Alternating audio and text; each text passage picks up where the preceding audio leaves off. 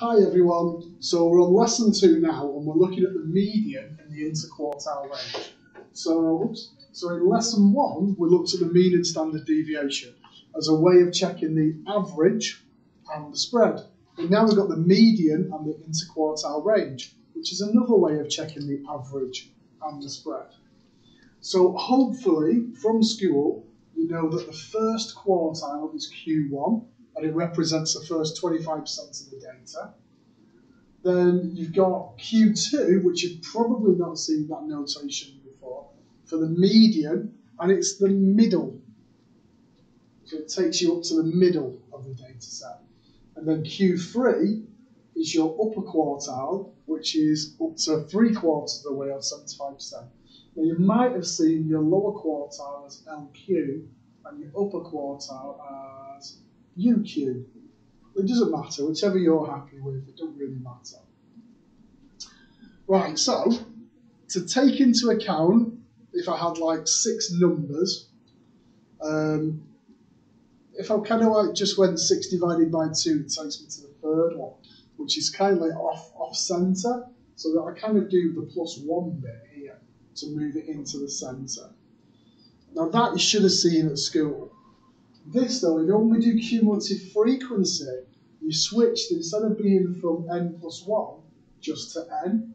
So Q1 was just n over 4, Q2, your median, was n over 2, and Q3, your upper quartile, was 3n over 4. Now that was kind of, you saw that on cumulative frequency, because the idea of cumulative frequency is this large data set where you've grouped your data, because it's just ridiculous having each line of data there. Right, so let's have a look at this one then, this first example.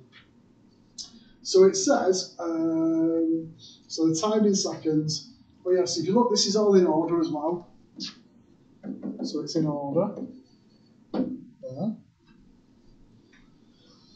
So I've got, what have we got here? So I've got 20 people.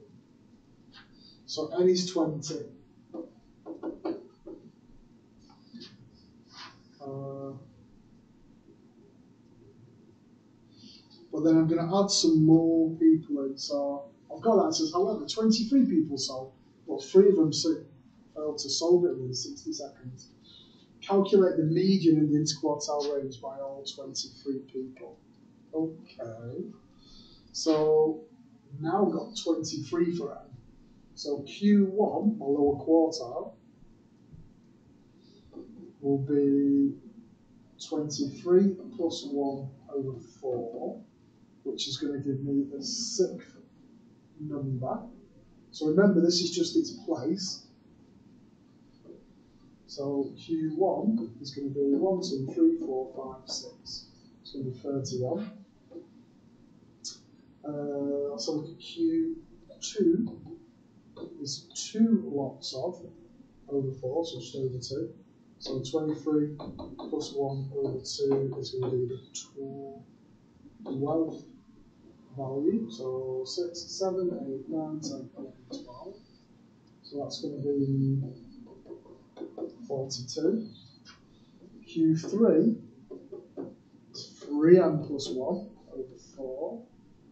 So that'll be 23, 24, uh, the 18th. So 12, 13, 14, 15, 16, 17, 18, 55.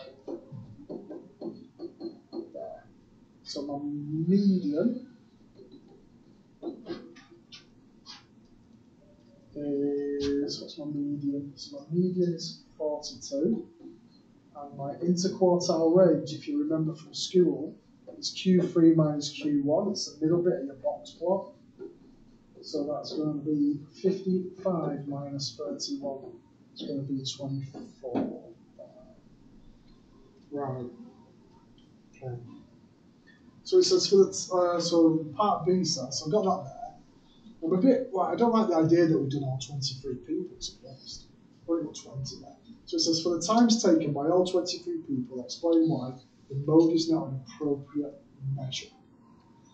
So if you look along the numbers, no value appears more than once. So no value is more than once. So essentially I've got no mode. So why is the range not appropriate? Well, I don't know my biggest number, do I? I've only got up to 58. The others have recorded more than 60 and I've not put down. So three people don't have values for. More importantly, those values at the top end, uh, which are over, which are greater than 60. So I haven't got the biggest number, so no max number. There. That'll do for that one. Right, next page, keep going.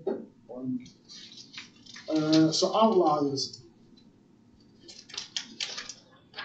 Oh, I might do outliers as a separate vid actually. Yeah.